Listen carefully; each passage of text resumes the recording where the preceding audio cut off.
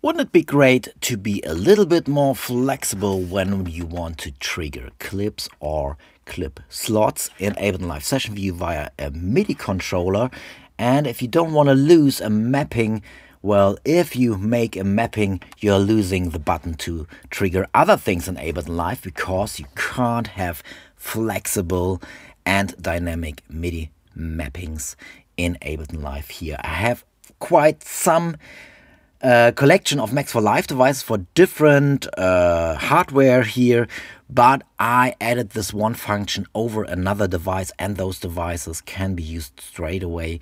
So if you want flexible and dynamic MIDI mappings for clips, please watch this video. So it is actually quite easy. We are talking about Max for Live devices here. So Max for Live is included in Ableton Live Suite or can be bought as an add-on towards Ableton Live Standard. This will work in Ableton Live Suite 10, 11 and 12. Okay, so let's have a look. We have those two different devices here because we have one family of devices here or one collection of devices here for clip slots and one for clips. So there is a difference. This will make sense in a second. Let's start with the slot mapping here. So we just want to map a slot. So let's say we want to map this slot here. So if we go to our MIDI track where we have the Max for Live sitting on, we just hit map slot and now the selection jumps to the master track. Don't worry why. Just select the track. First, you want, you got the slot on, you want to map and then select the slot you want to map and you're done. So if you're going back now to the track where you got your devices sitting on, you will see that the name will display or the, the uh, window here will display to MIDI, which is the track name here, and the slot number from the top, it would be number 10, counting down. So um, this is now mapped here, and if I hit trigger, you can see that this slot here is being triggered. So if we have a MIDI clip on here, for example, this will now play. Or if we have a empty clip slot here where we want to record something in. So if we just set up some input here just for now. So if I now hit the trigger button here, you can see this slot is recording and I can retrigger the slot here as well. So um, the same or very similar function here works for the clip map clip stuff here. Why is there a difference for the um, clips here. So for example, if I now change um, more tracks, have more tracks here. So now um, when I'm triggering this, you can still see it's recording in the track and in the clip slot we mapped here. But obviously the name changed because this is not anymore 2 MIDI. This is now changed to 4 MIDI because I added more tracks here. So what I can do now is I can refresh and it will recall the current or the changed name of the track or if you add more scenes and the clip slot number went further down or further up it will update this here as well so you will always know which um, clip slot is triggered on here okay so before I explain why this technique is so useful and in combination with other devices of mine first want to show you how the whole thing works for clips if you want certain clips to, to be triggered. So you hit the map clip and then you select the clip straight away. So you don't go to the track selection first and then the clip slot selection. You just select the clip straight away and we can see it's now being mapped to this clip. And the difference here is to the clip slot device, you might want to move this clip, you know? So if you're moving this clip now, it will stay and it will follow this clip. It's bind to this clip now. So if I trigger this, if I hit trigger, it's triggering this clip and the same um, works if, for example, if this clip is sitting somewhere completely else on a different track, it's still, and you can see that now, if I hit trigger, it's still triggering this clip no matter where it is sitting. Obviously, if you delete this clip, the whole mapping doesn't work anymore, anymore because there is no clip. Okay, so you can obviously clear this mapping or you can make a new mapping. And if you change the name, let's quickly do this. Another name. Obviously, the clip name is changed now, but it's still displaying the old or the, the name when you mapped it. You hit refresh, R for refresh, and the name is being updated. So you might think now, well, but Toby, we have the Ableton Live MIDI mapping, the default MIDI mapping here, and I can just select my MIDI controller here, go to the clip, and make a mapping mapping there.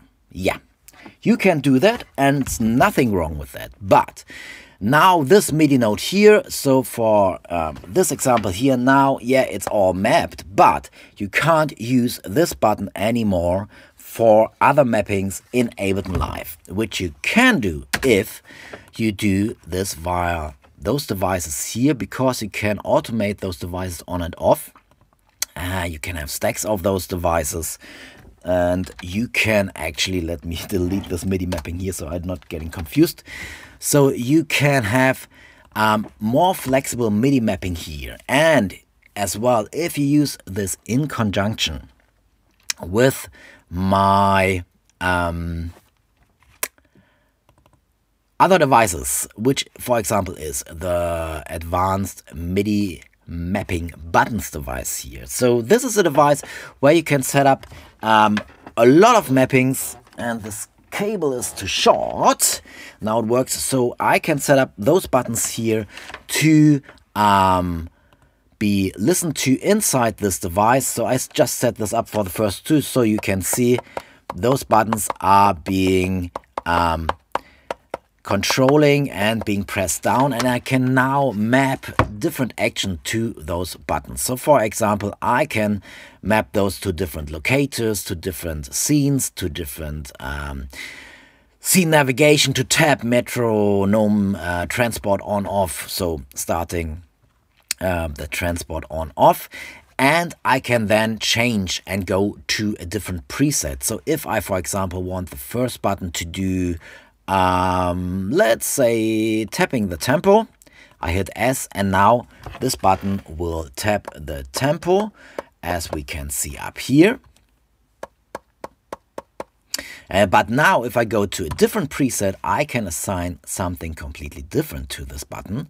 So for example, I want to set the transport on and off so Ableton Live's start and stop button and we can see here now the starting and stopping of Ableton Live is now being controlled via this button. If I go to my preset I set up before, um, the same button is now controlling tapping the tempo.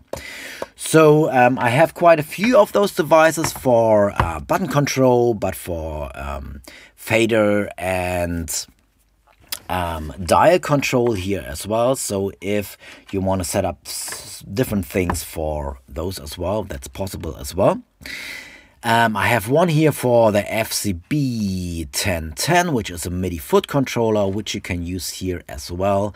Um, same like you have different presets to set up different things. So that was kind of like a little detour now to explain you what you can do here. So for example, if I set up now a map function here, um, map parameter, I can now go to my launch clip stuff here and set this up to be um, the triggering clip here. So now I have used one device, which is the advanced MIDI control buttons, to be mapped to a certain parameter and I can now use the launch clip or the launch clip slot devices which are linked in the video description. All devices are linked in the video description actually here.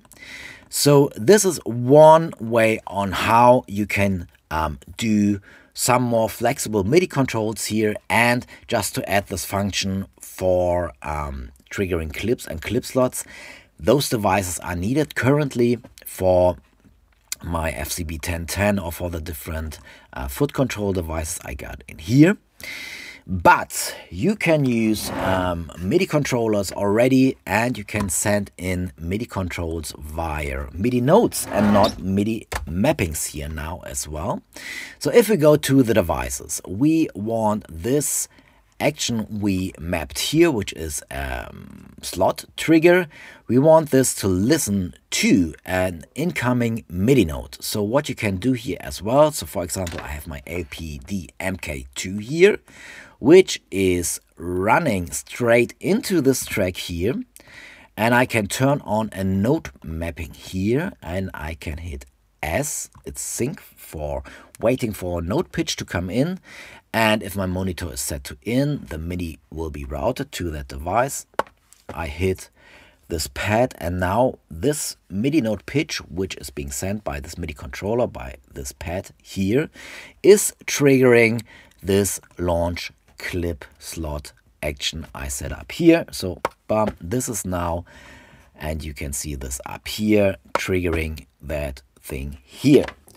Again, this is a little bit advanced because you could map this directly, but then you would lose this MIDI note here. You're sending this button here for other things, controlling other things. But if I now just turn this device on or off, automate this, I could have quite a lot of presets being set up and just being controlled via this one device. And if this device is turned on, or off, depending on what actions I want to trigger, I can actually set up some more controls here. Again, the, probably the advanced MIDI um, device, button device here is a bit easier to understand if you want to go into having different um, actions being triggered via the same button or buttons. Um, so have a look. There's a video link. There's a link in the video description here.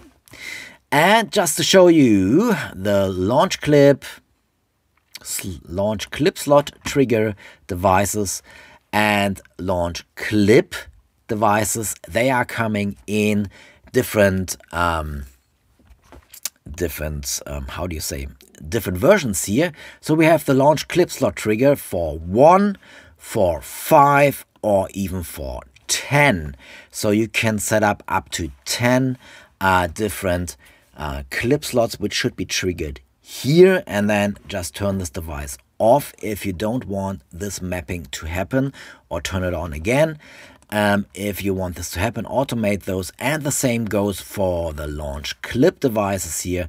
We have a one device like for one for five and for 10 which um, is all included in this one pack. So you get those six devices here just follow the link in the video description. And again as i mentioned we have or you can get the fcb or uh, some midi foot control devices here which i will link in the video description as well. And one which i I'm a little bit proud of because you have so many different actions here you can actually trigger with one button. And you can set up up to 120 eight presets here. So you can trigger 128 presets with one or things with one button and just quickly set up presets here. It's much easier to automate um, this via um, this button advanced button control device here. Obviously it's a little bit of a learning curve to understand this. So um, if that excites you um, you got two options here one option is um, just follow the link to get the launch clip and launch clip slot devices uh, and have a look on the other link here to the button control advanced button control devices to another video of mine where I'm explaining this a little bit more in detail how this works and how to set up your MIDI controller to be much more flexible and ever advanced and control have dynamic control settings here and even for some functions setting up global presets you so you can um, have some things like um, tab, metronome, uh, metronome on and off, transport on and off, record, overdub, MIDI, etc. Those functions can be set globally, which means you can actually store and recall presets for your MIDI controller across Ableton Live sets and you don't have to set up mappings every time again. So um, have a look in the video links, in the links of this video description here, if that excites you, and take care. Bye bye.